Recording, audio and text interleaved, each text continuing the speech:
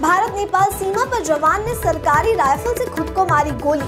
गोली लगने से जवान गंभीर रूप से घायल हो गया। इलाज के लिए ले जाया गया सामुदायिक स्वास्थ्य केंद्र। निगाह सिंह डॉक्टरों ने किया मृत्यु घोषित। जानकारी के अनुसार 33 वर्षीय जवान संजय कुमार यादव फिरोजाबाद जनपद के निवासी थे। एसएसबी की तृतीय बटालियन में तैनात थे। जवान ने अज्ञात कारणों के चलते गोली मारकर की आत्महत्या। सूचना मिलते ही मौके पर पहुँची पुलिस ने शव को कब्जे में लेकर पोस्टमार्टम के लिए जिला मुख्यालय भेज दिया है। तो वहीं पुलिस अब पूरे मामले की जाँच पड़ताल में जुटी हुई है।